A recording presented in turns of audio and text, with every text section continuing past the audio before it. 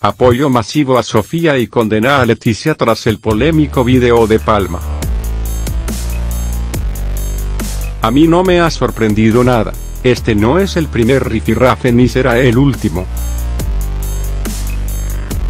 Leticia, 45 años, solo quiere que sus hijas vean a su abuela materna e impide el contacto con la reina Sofía, 79. De hecho, un día me contó una madre del colegio de las niñas que éstas se quejaban con frecuencia por no poder ver a su otra abuela, asegura a Jaleos el periodista Jaime Peñafiel, 85. La polémica se ha recrudecido, pero tan solo llueve sobre mojado. Desde que Leticia Ortiz se convirtió en la mujer de Felipe V, 50, Siempre ha sobrevolado el rumor de que la actual reina no es del agrado de su suegra Sofía. Públicamente, siempre guardan la compostura y la postura, congelan su sonrisa y posan armoniosamente ante la prensa.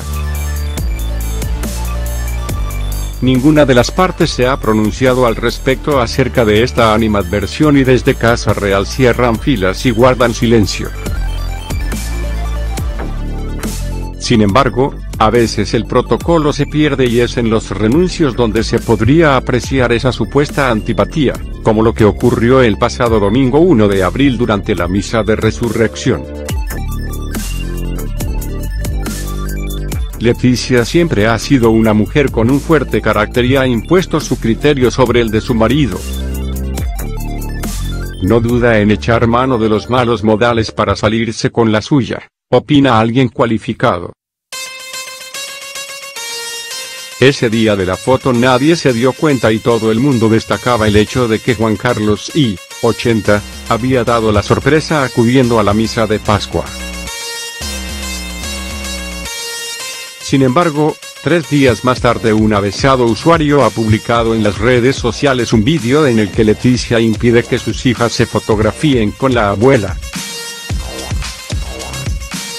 En cuestión de minutos, ese incómodo momento se hizo viral en Twitter y el nombre de Leticia se convirtió en trending topic.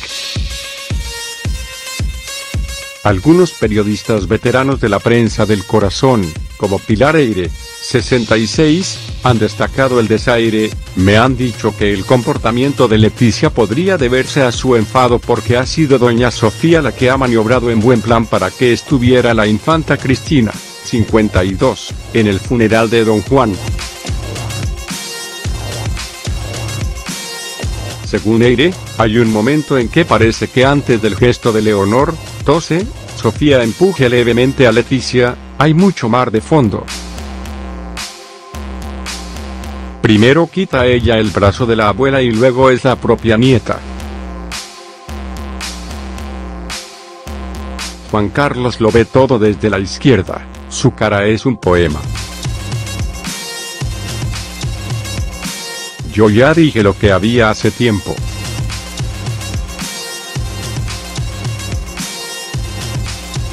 Después de que el usuario de Twitter publicara el vídeo de Marras, muchas han sido las muestras de apoyo y comprensión por parte del pueblo español que ha recibido la reina Sofía, así como Leticia solo ha recibido condenas.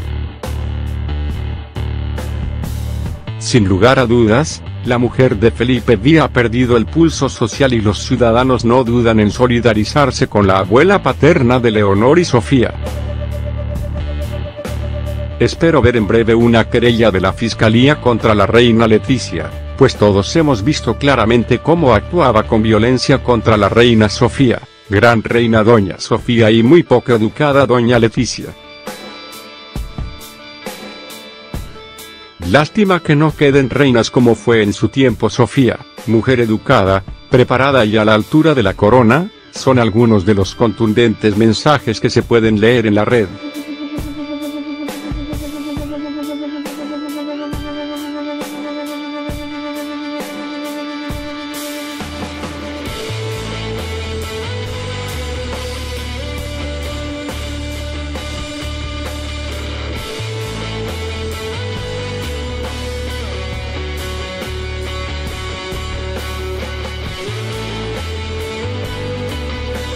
Por si estas reacciones no fueran suficientes, la familia griega de Sofía ha salido al paso, por primera vez, en contra de Leticia. En concreto, quien ha roto su silencio ha sido María Chantal, 49, la mujer de Pablo de Grecia, 50, la sobrina política de Sofía. Esto es muy desagradable.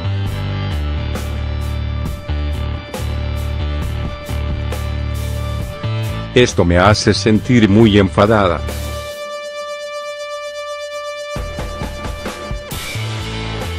Ninguna abuela se merece ese tipo de trato. Wow, Leticia ha mostrado su verdadera cara, ha asegurado en su red social. Estas manifestaciones demuestran, a todas luces, que la figura de Leticia es cuanto menos desagradable para más de un miembro de la familia. A Pilar Eire esta reacción de Chantal no le sorprende, Leticia tiene muy mala relación con los griegos, ya lo conté hace tiempo. En una comida en Atenas Leticia se puso en un rincón a manipular su tablet como una secretaria estresada.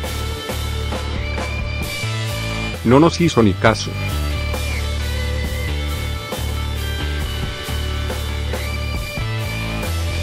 ¿Tendrá algo que decir Casa Real ante tanto revuelo?